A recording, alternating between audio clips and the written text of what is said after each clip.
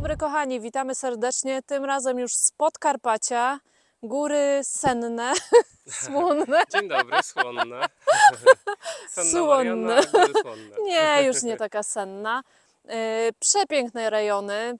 Przy drodze widzieliśmy już grzybiarzy, prawdopodobnie będzie bardzo dużo grzybów. Wczoraj yy, pierwsze rozeznanie w lasach Sanoka.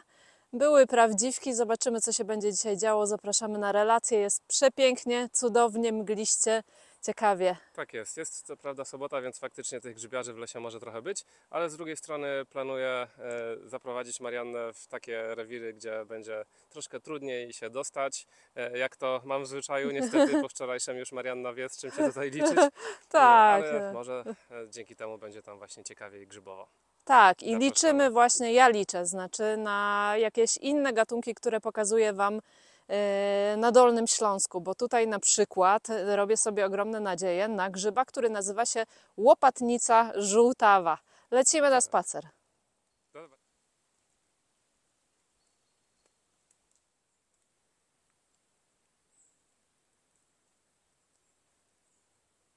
Trafiliśmy do takiego bardzo fajnego świerkowego lasu, no naprawdę jest luksusowy, a w nim borowiki szlachetne i krasnoborowiki ceglastopory. Tutaj fajna grupeczka szlachetnych. Wszystkie grzyby dzisiaj kompletnie mokre, śliskie, ale jędrne i zdrowe. Na razie takie oto zbiorki, jak widzicie, szlachetne i ceglaczki.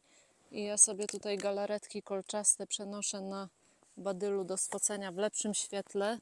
A tutaj grupa młodziutkich prawdziweczków.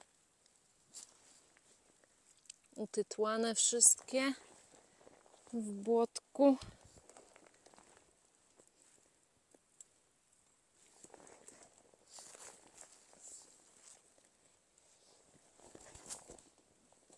Gdzieś tu jeszcze widziałam.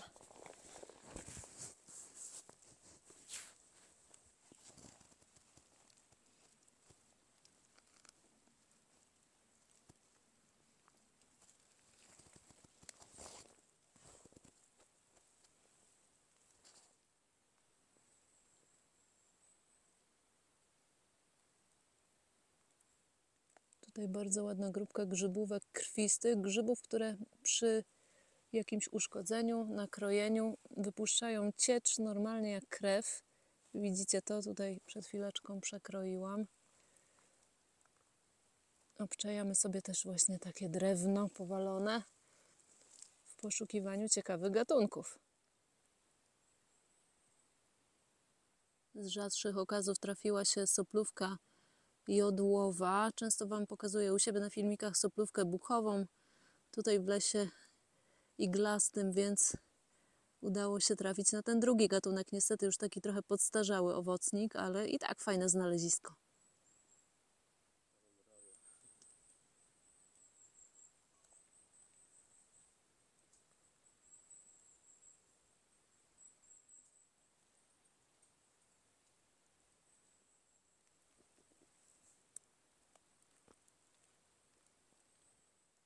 Absolutnie przeuroczo wyglądają takie powalone różne stare drzewa, a na nich kryją się różne skarby. Tutaj grzybówki śliczne, a tutaj rarytas, bo soplówka jodłowa, bardzo ładna, młodziutka, dopiero się kluje. Grzyb chroniony u nas, mm, narażony na wymarcie, więc nie można go zbierać, ale podziwiać jak najbardziej.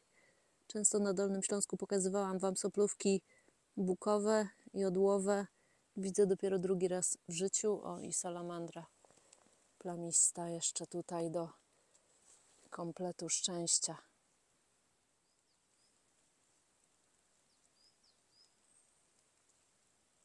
I w ogóle na takim powalonym drewnie może się dziać wiele ciekawego, dobrego. Warto się rozglądać, bo i nie tylko soplówka jodłowa, ale też piękne grzybówki i rzadkie rycerzyki oliwkowo-żółte.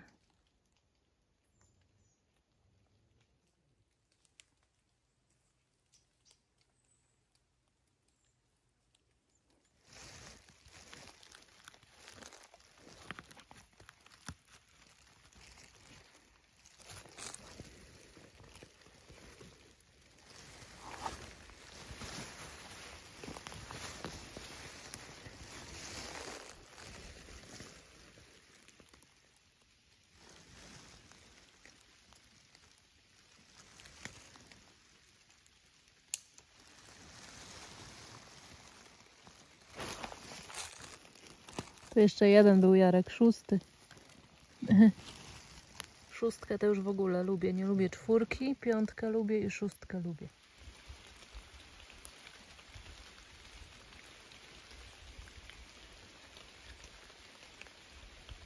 I koźlarze z naprawdę ładnym widokiem.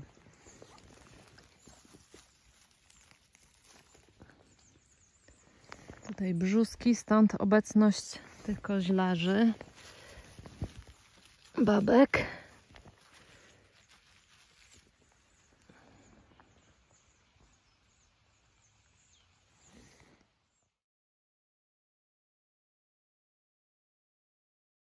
W ostatnim filmiku na czołówce, że prawdziwki i rydze nic nie pokazałam. Tutaj jestem w zagajniku świerkowym. Są ładne młode mleczaje świerkowe. Ale ostatnio faktycznie tam w sosenkach to były mleczaje rydze. To na czym mi tak bardzo zależało, łopatnice żółtawe w modrzewiach tutaj. Fantastyczna sprawa, co prawda mam cynk, że we Wrocławiu też rosną, nie ma to jak przejechać się na Podkarpacie, żeby je zobaczyć, ale oczywiście przyjechałam tutaj, żeby zobaczyć różne gatunki grzybów i te piękne y, miejsca różne, także fantastyczne kombo. Takie małe grzybaski, już światło koszmarne, raczej będziemy jeszcze tu wracać je obfocić, ale cudownie. Marzyłam o nich od bardzo dawna.